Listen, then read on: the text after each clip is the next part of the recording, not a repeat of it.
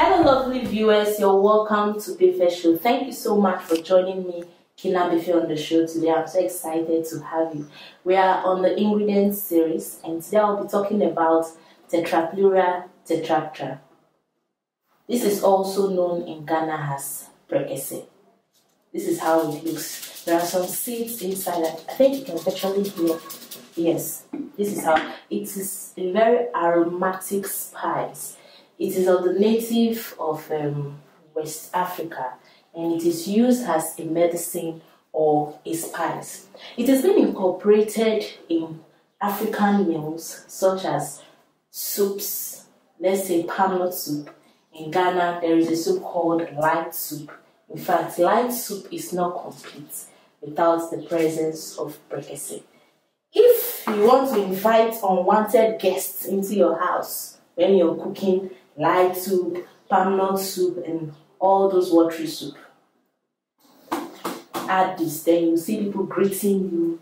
You know, it's been a long time because the flavor it gives to your meal is irresistible. I'm telling you. Now let's go into the benefits of prekese. Uh, studies have shown that prekese helps to control type 2 diabetes. That's it, people suffering from type 2 diabetes, the intake of prekese can go a long way to help you. It is also useful during the uh, postpartum care. This is the postpartum period is a period of um, three weeks after childbirth. It is advisable in West Africa that the mother is being given meals that prekese is incorporated into because this helps to avoid contraction.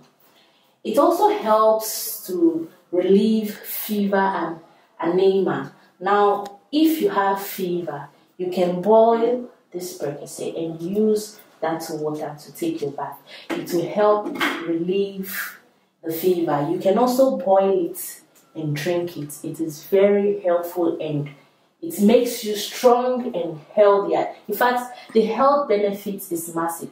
I know you will know some that I did not even mention right now. So if you know any use or importance of this prekese, please indicate in the comment section because someone might be learning from you. You may never know.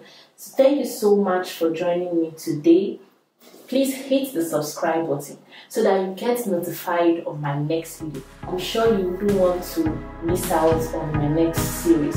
Thank you so much for watching and until we meet next time, remain blessed.